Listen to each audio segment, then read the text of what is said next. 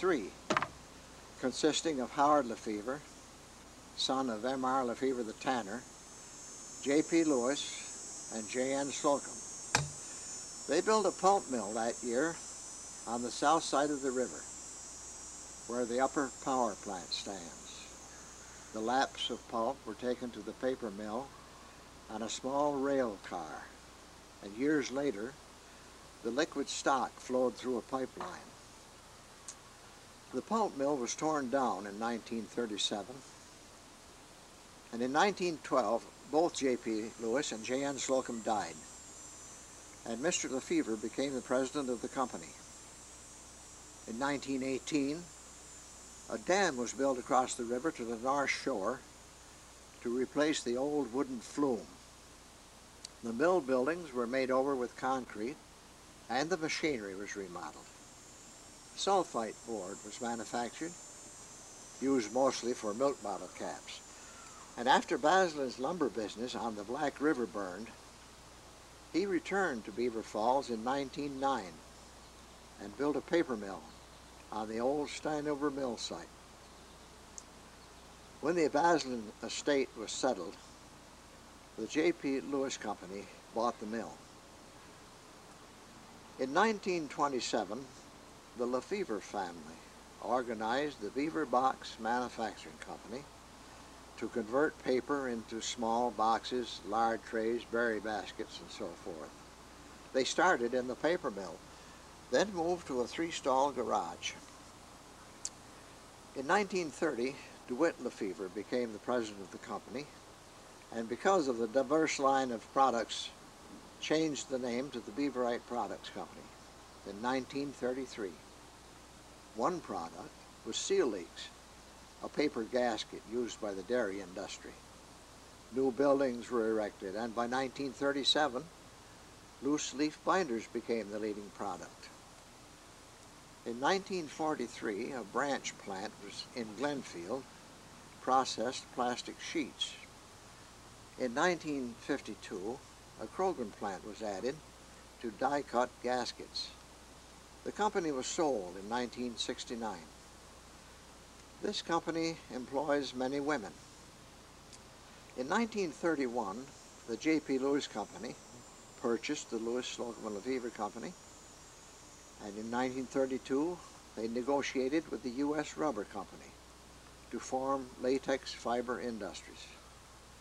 They made Layflex, used in the shoe industry, and a leather-like product called Lexide. In 1973, the company merged with the J.P. Lewis Company. In 1977, Boise Cascade purchased the entire facilities.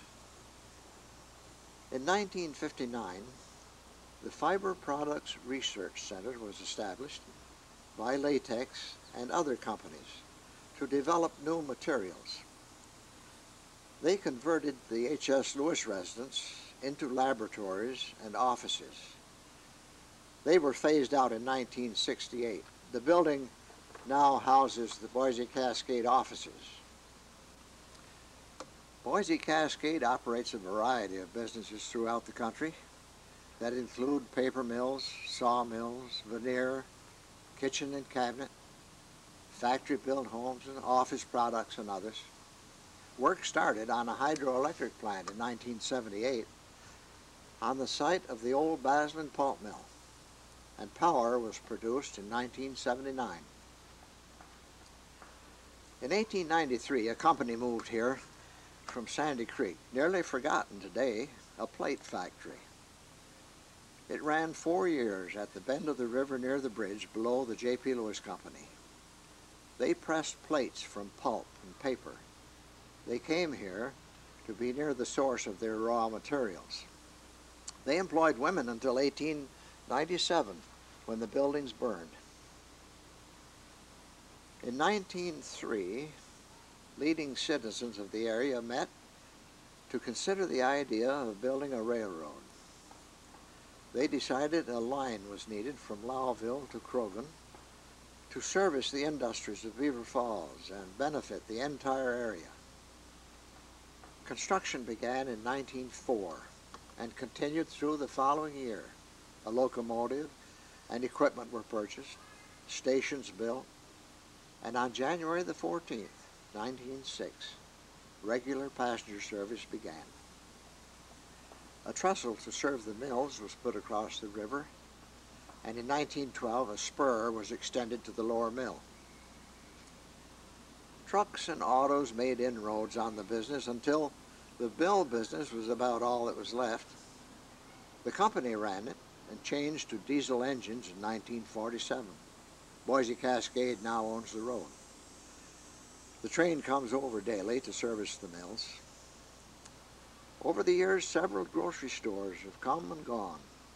In the mid-1800s, Martin R. Lefevre ran one on the south side of Main Street at the upper bend in the road. In 1907, Owen and Ebersol bought it and moved it across the street to the north side. On the death of Owen, Charles Riddes became Ebersol's partner until 1911, when the store burned. Leon Stoddard then became Ebersol's partner and rebuilt. That partnership ended about 1920. The store was run later by Herman Zahn, then Gerald Parker, and finally Frank Alger. The building was torn down and the site made into a parking lot. Charles Newfer and J.P. Lewis went into the store business about 1883, where Newfer later built. In 1893, Newfer built his store, which ran for years. Latex purchased the property in 1969 and tore down the building. Beaverite built an office on the site. Over on the New Bremen side, Rudolph Richner built a store in 1896, managed by Martin McElhearn. That store also burned. G.C. Fredenberg started his store about 1913 in the Higby building and moved down into the Grange building in 1914. He was succeeded in business by his son Glenn, whose son John took over. Now three generations of Fredenbergs have run that business on the same site for 72 years, and now in July of 1986, they're going out of business.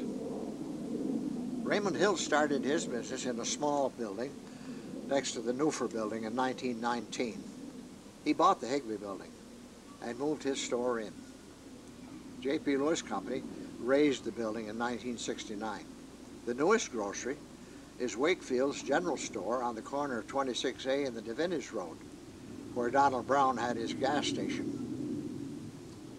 In 1854, the citizens of Rohr's Mills formed an evangelical association, and in 1857 gave Jacob Steinover the contract to build a church. That is now the oldest building in Beaver Falls. Services in the early years were given in German. In 1947, they merged and became the Evangelical United Brethren Church. And in 1974, a majority of the members opposed a union with the Methodist Episcopal Church. They bought the property and became the Salem Christian Fellowship Church. Thirteen charter members organized the second church in Beaver Falls. Their new building was dedicated in 1890. And in December of 1945, the interior was gutted by fire. Services were held temporarily in the community house until a small chapel was fixed in the part that had escaped the blaze. A campaign was started to raise money to rebuild. DeWitt Lefevre donated the land and a new building was ready for the first service in 1950. In 1968, the name was changed from United Episcopal Methodist Church to the United Methodist Church. In 1870, Charles Newfer had built his home on the north side of Upper Main Street. After he moved to a new location, J.N. Slocum bought the property in 1893. The house was occupied after his death until 1924. The Lewis Slocum and Lefevre Company and the J.P. Lewis Company converted the building into a community house. An opening was held in 1926. Mr. and Mrs. Melvin Bush were caretakers until 1943 when he died. Then Mrs. Bush stayed on until 1959.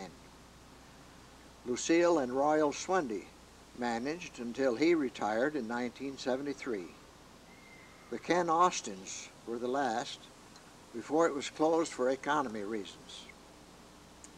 In 1975, the Lewis County Maple Producers Association leased the building and converted it into a museum. After they moved to Croghan, Boise Cascade sold the property and it is now the New Life Fellowship Church. A book club was formed about 1900 and continued until 1914 when a library association was organized. In 1920, the log cabin built for the Red Cross was no longer in use, so it became the library. It was moved to the new community house in 1926, where it stayed until 1985, when again it was moved to the Beaver Inn. Gilbert Higby owned land along the Croghan and Cutoff roads. He built a hotel on the corner where Leon Herzig lives, about 1858. It had several owners over the years, Hilson Stoddard, then William Fredenberg in the 1880s. Beaverite finally tore down the building. In the 1870s and 80s, George Gardner ran a hotel beyond the upper bend of the road toward the river. He ran a livery stable in connection with it. That building burned in 1890. Rudolph Richter built the Hotel Amulus in 1893. In 1907, Merritt Joyner, who met this train with his stage, renamed it the Beaver Falls House. He was followed by Andrew McAndrews, then Alec Beaton, and the building was empty when the J.P. Lewis Company bought it and named it Beaver Inn.